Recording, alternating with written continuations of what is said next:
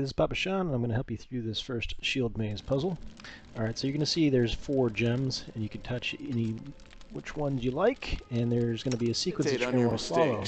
Earlier on, we saw inside this dining hall area a uh, portrait on the wall, yellow, blue, red, yellow, so that's going to align with our hmm. options here. So let's go ahead and do that. Yellow, blue, red, yellow. There you have it. The gate opens and we're able to go in